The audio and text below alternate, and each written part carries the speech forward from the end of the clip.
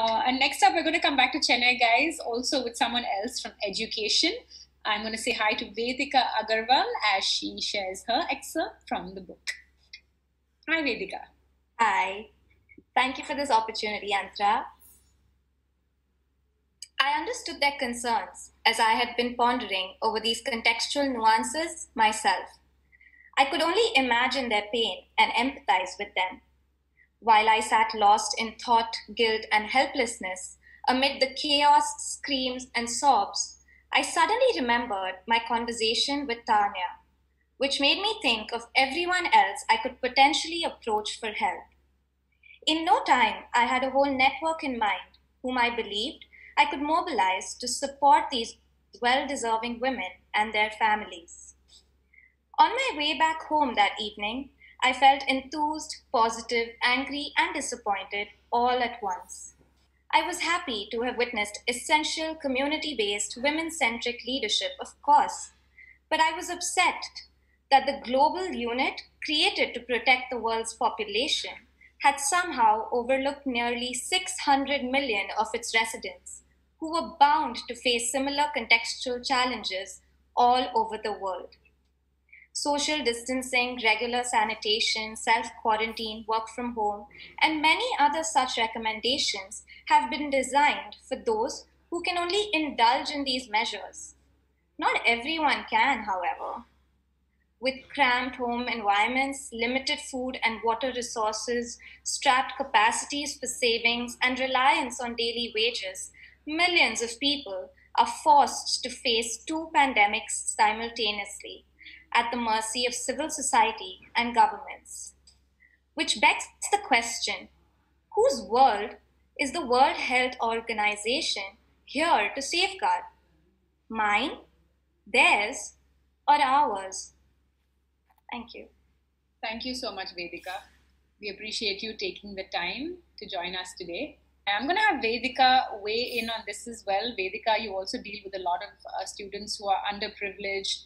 And I know that you're somebody who feels very deeply and you're super connected with all of your students. So, uh, Vedika, what has it been like for you going through this time and maybe not having that connection with all of your students that you're used to? And like Maya was saying, not everybody can afford a laptop or afford to be educated online. So, I'm curious about your thoughts on this.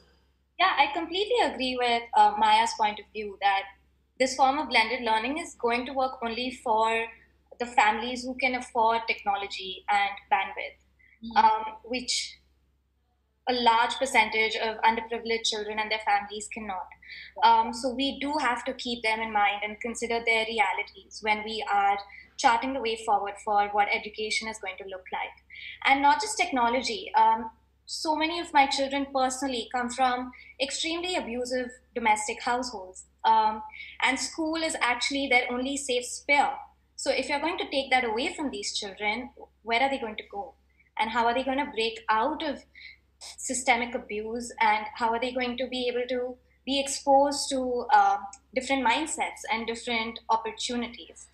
Um, so it's not only about technology at that um, income level, it's definitely way more nuanced. There is so much that needs to be considered um, that I feel like a lot of conversation is not being centered around because technology is the most apparent um, uh, gap that needs to be filled and that is being filled. But like I mentioned, there is so much more. Like for even, uh, for example, the midday meals, a lot of children go to school simply to have access to that food supply, um, which has been cut off now. So um, blended learning, not sure how that's going to work in lower income societies. Um, but of course, it is going to be uh, an opportunity for governments to explore um, next steps in education. So, Vedika, I think one of the emotions alongside fear that I can feel today is also guilt a little bit. I think mothers are feeling guilty, educators are feeling guilty. I can see that you really feel a, sense of guilt, I think, at not being able to do all these things for the students that you love so much. But do you feel like at least talking about it, uh, sort of highlighting it in the book, will get its you know a little bit of that importance that this topic deserves?